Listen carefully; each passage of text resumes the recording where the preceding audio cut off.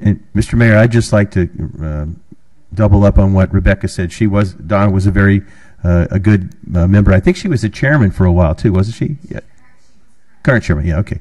So even though it's, it's sad that we're going to lose her, um, she is resigning, or has resigned.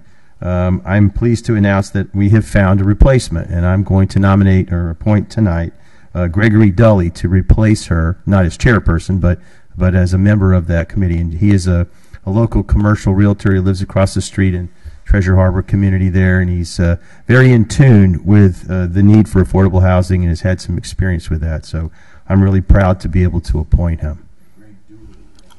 Dul- did I say Dully? I, I think it's Dully. He's probably watching and going, no, that idiot, he got it wrong again. So at any rate, D U L L Y. So, and I think we have an application from him, right? Yes. Okay. Thank you.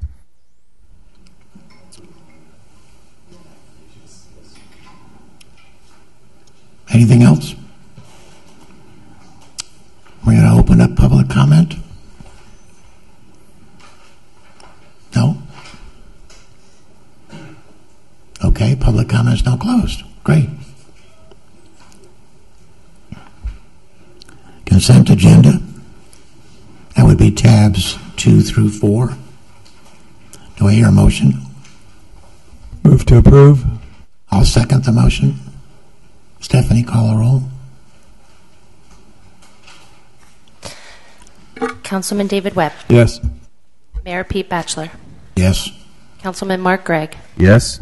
Councilman Buddy Pinder, Yes. Vice Mayor Henry Rosenthal. Yes. Motion passes five to zero. Thank you. We don't